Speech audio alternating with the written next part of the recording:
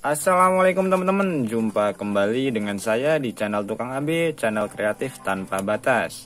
Nah untuk di kesempatan video kali ini teman-teman Saya akan memberikan triks kepada teman-teman semuanya. Bagaimana caranya membuat uh, lilin ini menjadi lebih awet lagi ya teman-teman? Karena biasanya lilin ini kita pakai itu uh, paling lama itu hidup sekitar setengah jam. Paling lama ya sekitar satu jaman lah ya Tergantung lilinnya teman-teman dan di sini saya akan memberikan trik bagaimana caranya supaya awet uh, supaya awet supaya uh, lilin ini menjadi lebih awet lagi ya teman-teman untuk hidupnya.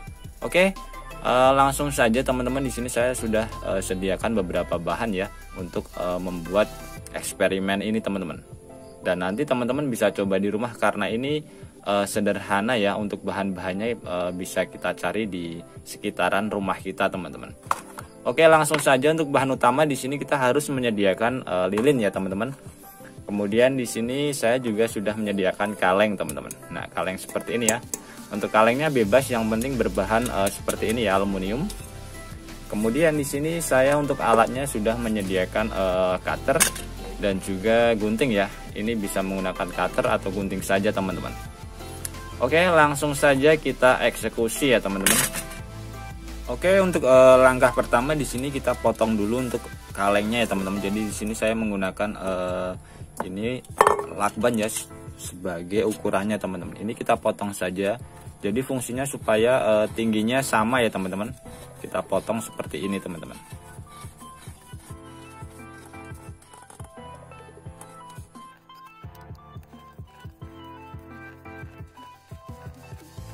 Oke seperti ini ya teman-teman setelah kita potong. Dan ini e, kalau misalkan belum rapi kalian bisa merapikannya dengan menggunakan gunting yang sudah kita sediakan tadi teman-teman.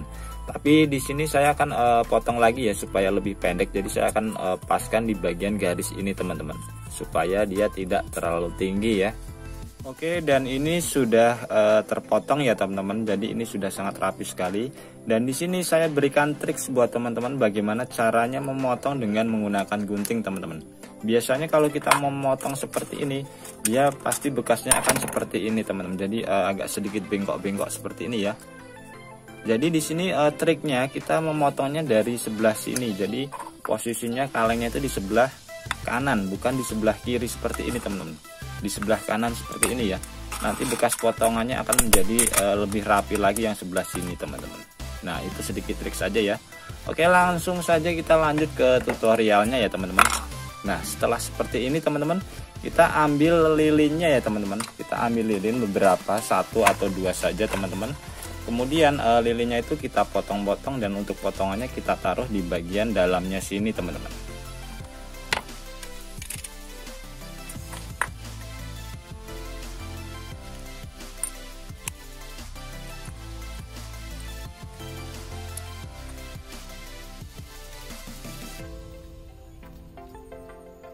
Oke seperti ini ya teman-teman. Ini saya menggunakan dua buah lilin ya. Ini saya potong-potong saja karena menggunakan cutter eh, agak lumayan lama. Jadi saya potong-potong dengan menggunakan tangan teman-teman. Dan di sini untuk sumbunya kita ambil ya teman-teman untuk sumbunya. Jadi kalau misalkan eh, sudah ada yang ikut terpotong juga tidak apa-apa teman-teman. Tapi di sini kita sisakan satu sumbu saja ya. Jadi nanti kita akan eh, pergunakan kembali teman-teman Kemudian untuk langkah selanjutnya ini tinggal kita panaskan saja ya di atas kompor teman-teman supaya si lilinnya ini mencair teman-teman.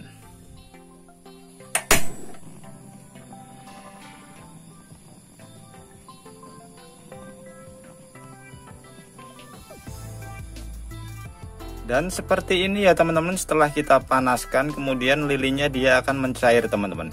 Nah, untuk langkah selanjutnya tinggal kita ambil sumbu dan di sini sudah saya jepitkan dengan menggunakan kawat ya teman-teman.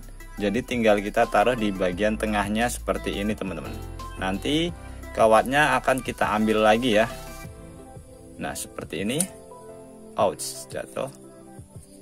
Jadi kita taruh tepat di bagian tengah-tengahnya saja teman-teman. Oke seperti ini ya teman-teman. Jadi ini kawatnya fungsinya adalah untuk uh, sebagai penahan saja teman-teman supaya si sumbunya itu tetap e, berada di bagian tengah ya. Jadi ini tinggal kita tunggu sampai si lilinnya mengeras lagi ya teman-teman. Dan buat teman-teman kalau misalkan pengen e, lebih berbeda lagi bisa ditambahkan parfum ya sebelum lilinnya ini mengeras. Jadi nanti uh, lilinnya akan berubah baunya menjadi wangi ya teman-teman. Jadi kalian kasih parfum yang berbahan dari minyak ya teman-teman supaya dia menyampur di bagian sininya bagian uh, lilinnya teman-teman. Oke ini langsung saja kita tunggu sampai lilinnya kering ya teman-teman. Oke teman-teman dan setelah kering seperti ini ya kurang lebih ini sudah uh, mengeras lagi untuk lilinnya teman-teman. Jadi ini tinggal kita copot saja uh, untuk bagian kawatnya ini ya. Dan ini sudah mengeras teman-teman. Dan ini sudah bisa kita gunakan lagi ya jadi untuk proses memasaknya tadi cuma butuh waktu sekitar 1-2 menit. Kemudian dia akan uh, meleleh ya. Dan untuk uh, keringnya ini sekitar 20 menit teman-teman. Jadi cukup lumayan uh, cepat ya untuk uh, kita buat prosesnya seperti ini teman-teman.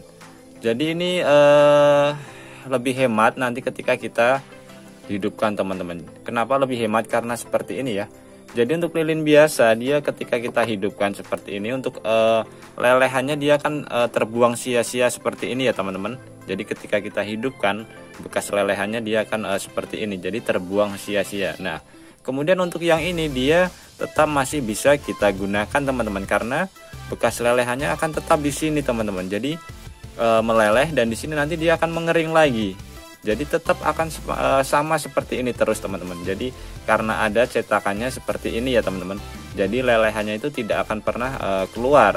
Jadi dia tetap akan mengeras di dalam sini teman-teman. Nah jadi ini tinggal kita hidupkan saja seperti ini teman-teman. Oke ini udah hidup. Kita coba hidupkan yang ini teman-teman. Nah seperti ini teman-teman dan bentuknya pun juga uh, lebih cantik ya teman-teman.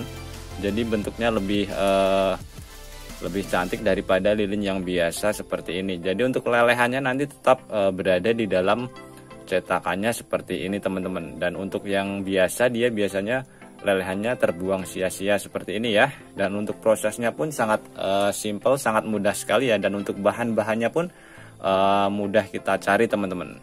Nah ini adalah sedikit uh, trik aja buat teman-teman yang pengen mencobanya. Silahkan mencoba di rumah ya teman-teman.